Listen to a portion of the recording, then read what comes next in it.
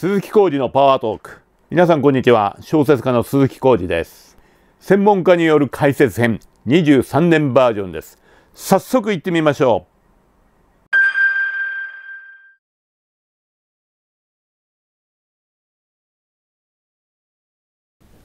う。えっとですね原子力発電所に関して言いますと現在ですね日本では、えー、再稼働になっているものが、えー、10基しかありません。えー、と3.11 2011年の3.11の事故前は日本全体で54基まあ大小さまざまあるんですけれども54機動いてましたが今は動かせる状態になっているものあ再稼働しているものがですねえー、わずか10機です。で動かしても良い状況つまりこれはあの新しい規制基準の下での審査に合格したものですね。しかしまだ実際には動いてないものが7機あります。でこの17機ではですねとてもその2030年に、えー、発電量総量のですね20%から22%を原子力発電で賄うっていう目標があるんですがそれには到達しそうにありません。あとですねその審査中のものが10機それからまだ、えー、廃炉は決めてないんだけれども審査にかかってないものが全部で8機あります。まあ、これらを全部合わせると35機ぐらいになるんですがこれでも20超をその30年2030年目途にですね、えー、供給するのは難しいと言われています。まあよくても十数パーセントから5%程度ではないかと言われています。ですからそうするとですねこの足りない分がどうしても出てきてしまいそうなんですね。じゃあこの分はどうするかというとこれは原子力発電所を新しく作る増設するしかないということになります。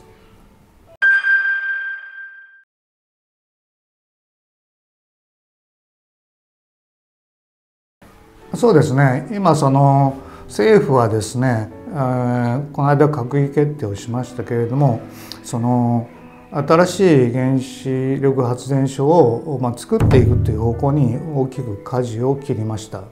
で政府はですね革新的な軽水炉、まあ、水で増やすタイプの原子炉で今実際に動いているものと同様のタイプの原子炉でありますがさらにそれを革新したもの、まあ、特に安全性とかですね。それからあ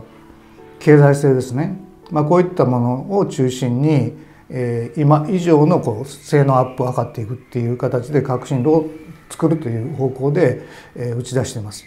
でじゃあ実際その原子炉が作れる技術が日本にあるのかどうかなんですけれども、えー、今まだその原子炉を作る技術はですね、まあ、10年間以上お休みしたんですけれども、えー、あると言われてます。特に重要なのはそのいろんな部品とかですね、えーまあ、燃料もそうですけれども大きな寄せ集めになってますのでそれを供給するこう仕組み、まあ、サプライチェーンといいますがサプライチェーンが、えー、まだあるのかどうかっていうところが一つの関心事なんですけれどもこれはそのメーカーの人とかに聞けばですねまだかろうじてですねサプライチェーンはあの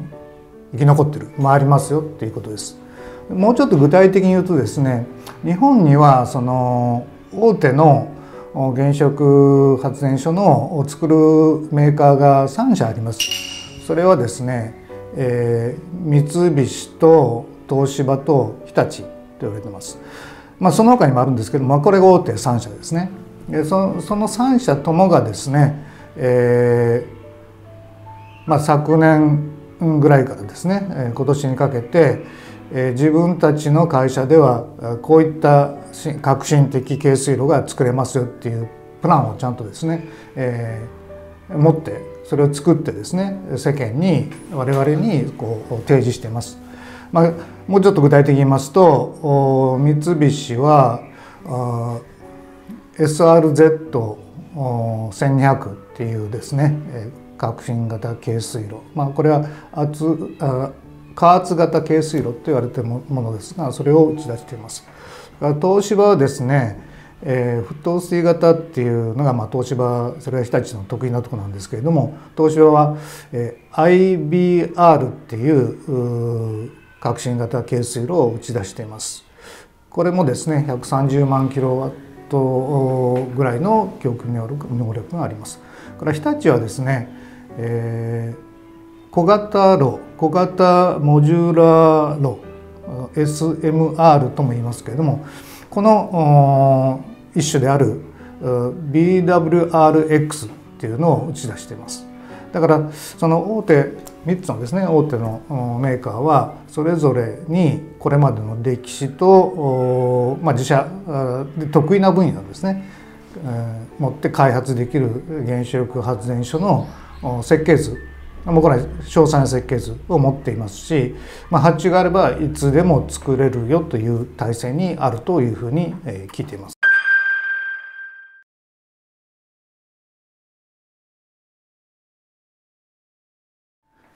えっとですね先ほど言いましたように2030年に、えー、まずですね最初にあった目標は、えー、総発電量の20%から22%を原子力発電で行うと言われます言われてますが今再稼働している分だと6%程度にしかなりません。でこれから再稼働可能な分も含めてもですねなかなかその 22%20%22% に到達しない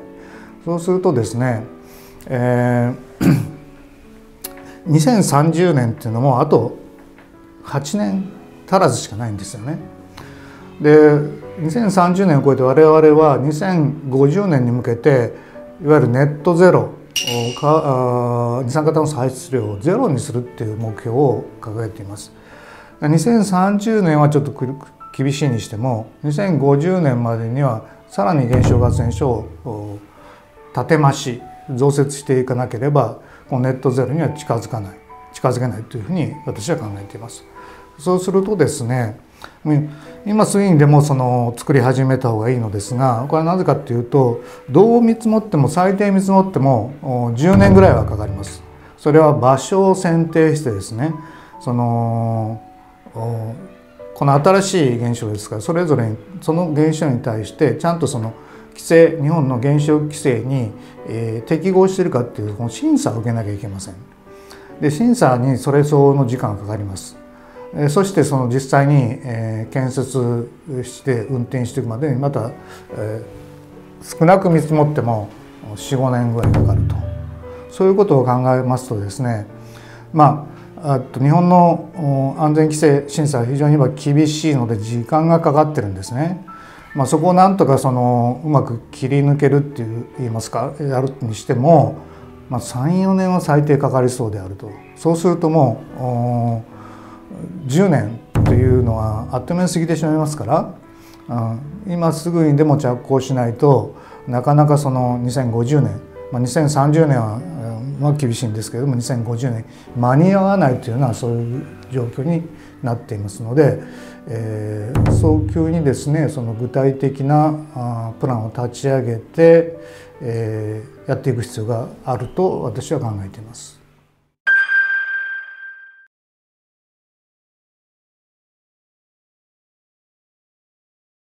えっとですねまず2050年にうんカーボンゼロネットゼロを目指すとすると、まあ、あの再生可能エネルギーとですね原子力を大いに活用していかないと、えー、そこには近づかないと思いますね。で再生可能エネルギーもどんどん増やしていけばいいんですけども、まあ、日本は国土の制限もありますのでなかなか難しいところがあると思います。まあ、そういうことをまあ考えてですね、えー、っと少なくとも今の電力部門ですね電力部門だけですよ電気の供給だけにおいて、えっと、原子力を最大限活用していくとなると私はざっくり言ってですね、まあ、100機ぐらい規模にはよりますけどね、まあ、100万キロワット級の原子力発電所はトータルで100機ぐらい必要じゃないかと思います。これなぜかっていうと大体3.11前に日本には先ほど54機まあ大小ありますけれど織り交ぜて、えー、54機あありました。その時に大体日本全体の電力のまあざっくり言って3割ぐらいは賄ってたんですね。で私のその木さんでは、えっと、再生可能エネルギーも大いに頑張っていただいてしかし残り60% 6割ぐらいは原子力が担わざるを得ないというふうに私はあの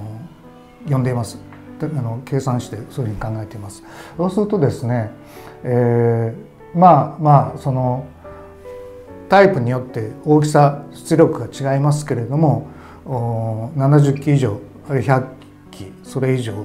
トータルで必要だと。そうすると今その